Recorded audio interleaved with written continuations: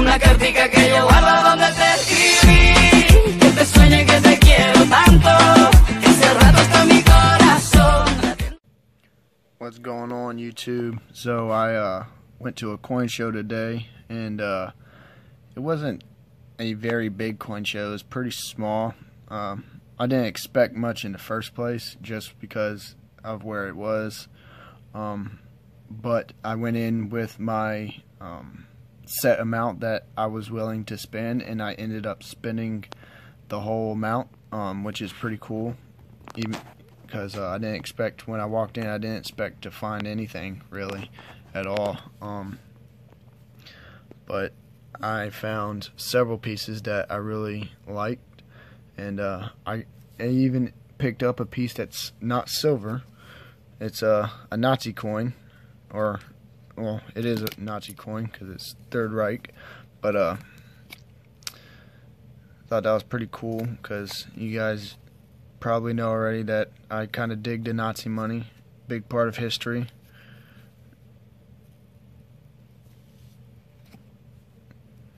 Let's see, let's go through them. I got a 1948 un peso.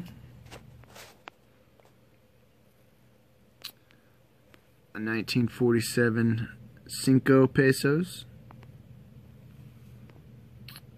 Hundred pesetas from Spain, 1966. Got some more Japanese money.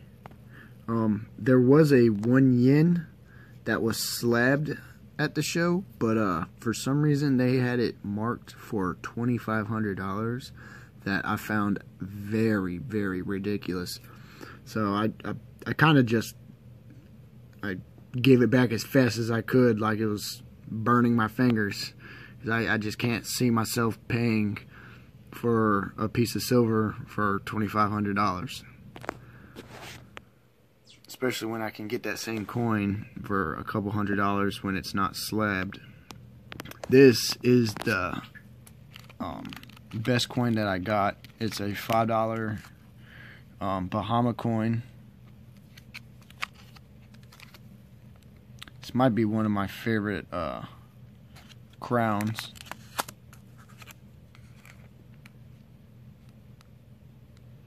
Queen Elizabeth was looking good on this coin.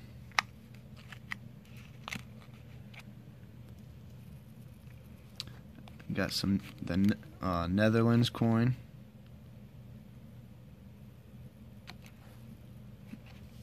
There's the Nazi coin.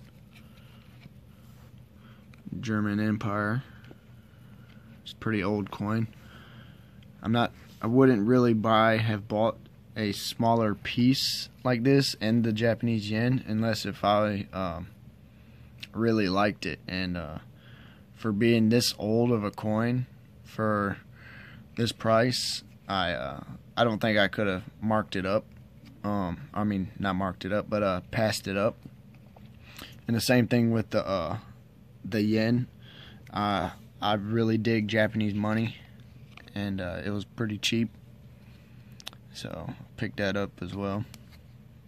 But other than that, I don't care for smaller, smaller currency. Um, I ended up buying some more American 90%, uh, three Kennedys, and a Washington quarter.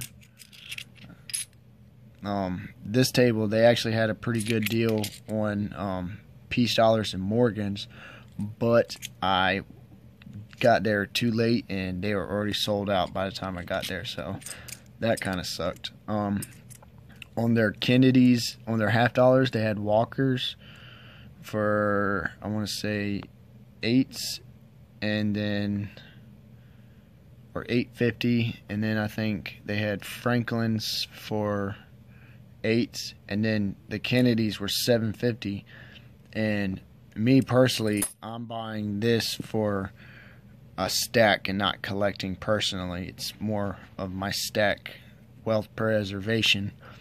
And it was cheaper than all the others and there's way more silver content in them since they're not all rubbed down.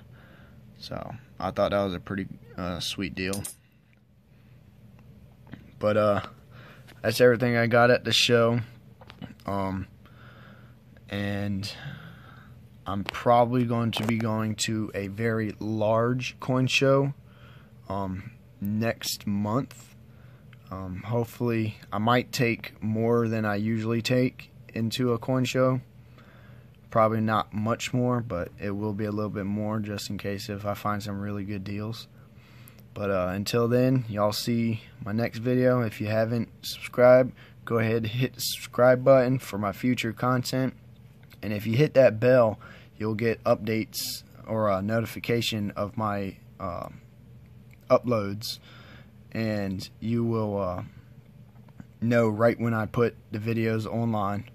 Um, go ahead, smash that like button if you haven't already. And uh, throw me some comments down below, and I'll catch catch you later. All right, later, guys.